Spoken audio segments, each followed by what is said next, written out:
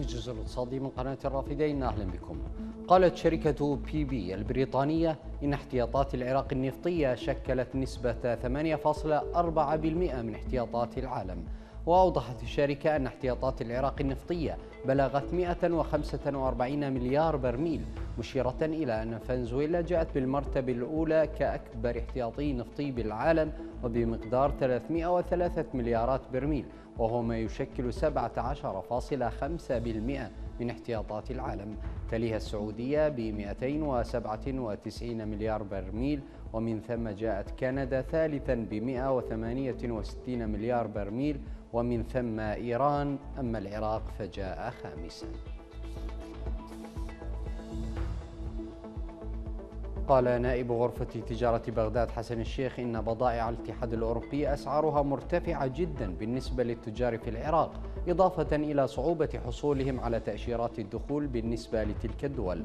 وأضاف الشيخ أن هناك صعوبة أيضا في الشحن والتحويلات المالية والوصول إلى المعارض بالنسبة للدول الأوروبية وهذا وهذه كلها عوامل تعيق التجار عن التوجه إلى أوروبا مضيفا أن الدول الآسيوية تسهل حركة التجارة من أجل منافسة الدول الأوروبية بينما الأخيرة تفرض شروطا معقدة تجعل التجارة معها غير مجدية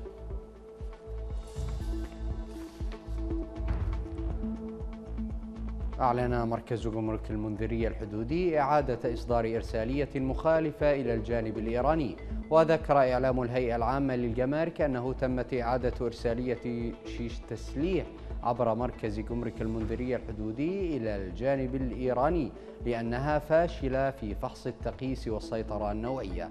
وأكدت الهيئة أن عملية الإعادة تمت وفقا لقانون الجمارك النافذ رقم 23 لسنة 1984 المعدل.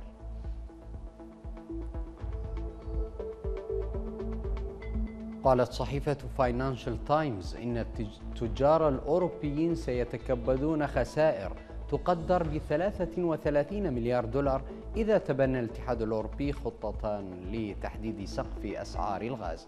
وأضافت الصحيفة أن المنتجين والتجار الذين يعتمدون على مركز الغاز الهولندي قد يواجهون زيادة بنسبة 80% في مدفوعات التأمين لتأمين صفقاتهم. وأكدت أن مثل هذه الزيادة الكبيرة يمكن أن تزعزع استقرار السوق. تراجعت أسعار النفط في بداية تعاملات اليوم لتواصل خسائر الجلسة السابقة مع انحسار المخاوف من تعطل الإمدادات بفعل أنباء عن رفع مجموعة الدول السبع سقف أسعار النفط الروسي. وتراجعت العقود الآجلة لخام برنت لتصل إلى 85 دولارا و23 سنتا للبرميل. وتراجعت العقود الآجلة لخام غرب تكساس الوسيط الأمريكي لتصل إلى 77 دولارا و88 سنتا للبرميل. يأتي هذا في وقت تدرس فيه مجموعة الدول السبع وضع سقف للنفط الروسي المحمول بحرا في حدود 65 إلى 70 دولارا للبرميل على الرغم من أن حكومات الاتحاد الأوروبي لم تتفق بعد بشأن هذا القرار.